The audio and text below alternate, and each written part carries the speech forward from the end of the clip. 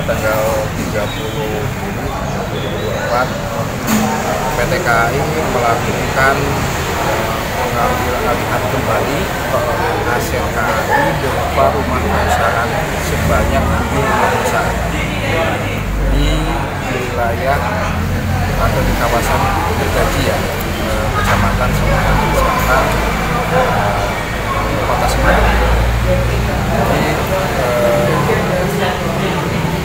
adapun dasar hukum dari mengambil alihan kembali sekali atau penertiban ini bahwa aset tersebut memang merupakan aset KAI formal perusahaan yang berdasarkan atau ada alasannya berupa eh, sertifikat hak guna bangunan dan hak.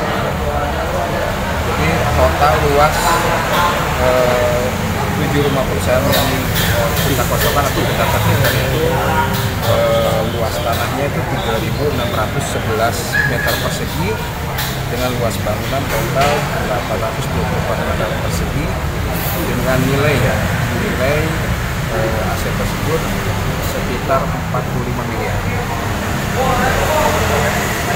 Jadi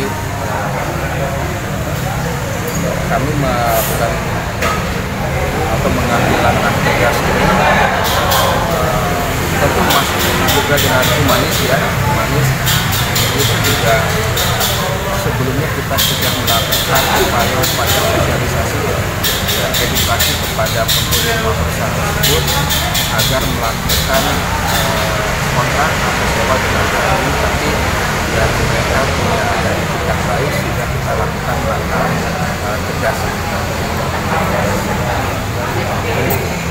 peringatan gitu surat Sudah.